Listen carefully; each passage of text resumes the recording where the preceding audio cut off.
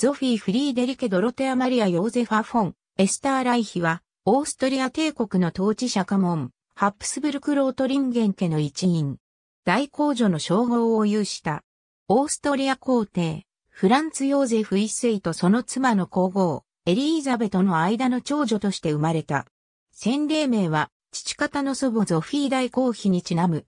妹ギーゼラと共に、母親のハンガリー訪問に同伴された際、妹ともども病気にかかって、下痢と発熱に苦しんだ。ギーゼラは回復したものの、ゾフィーはそのまま亡くなった。